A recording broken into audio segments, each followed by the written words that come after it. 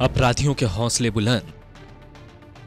परदेश से सुरक्षित आया, घर पहुँचने से पहले मारा।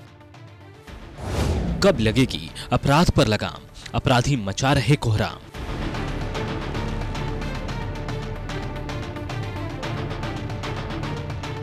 अपराधी बेलगाम हो गए हैं, जमकर तांडव मचा रहे हैं, लेकिन पुलिस के लिए उस पर अंकुश लगाना बहुत मुश्किल हो गया है।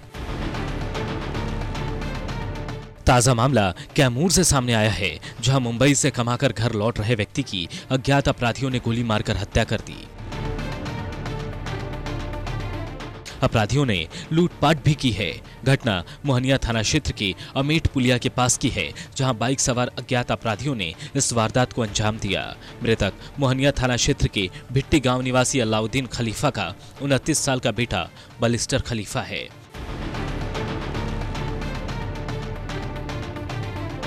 Mens Ayla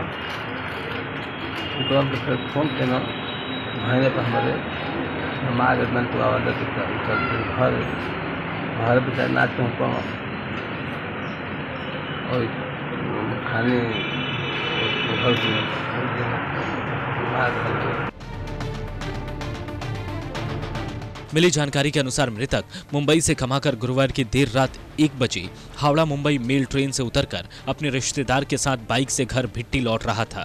तभी अमेठ पुलिया के पास अज्ञात अपराधियों ने युवक को गोली मार दी और फरार हो गए। कहाँ से आवत रही तीन बजे सर जानकारी हुआ हम लोग अच्छा। घर पे थे तो बोला गोली डकैत पकड़ा है उसको। हम्म। हम लोग पहुँचे वहाँ देखे लाश पड़ा था। अच्छा।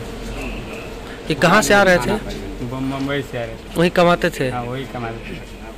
ट्रेन से घर आ रहे उतर कर? ट्रेन से उतर कर जा रहे थे। किसके साथ? एक था उसके फुआ का। लड़का बाइक से ले रहा था? बाइक से लेकर घर जा रहा और फुआ का लड़का कहाँ है ये?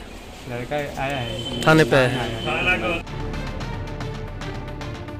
वहीं घटना की सूचना पर पहुँची मोहनिया भाग तीन के जिला परिषद सदस्य गीता पासी ने अपराधियों की गिरफ्तारी की मांग की है। हाँ, एक बलिस्टर खलीफा थे भीटी कराने वाले थे। जी। वो बम्बे से अपने घर जा रहे थे अपने बुआ के लड़के के साथ। कुछ अपराधी ने उनको गोली मार के हत्या कर दिया। पोस्टमार्टम के लिए सब भेज दिया गया है? पोस्टमार्टम के लिए जा रहा है लिखा पढ़ी जो है वो हो रहा है। अच्छा। ये बहुत निंदा घटना है। इसके लिए मैं बड़े अधिकारी से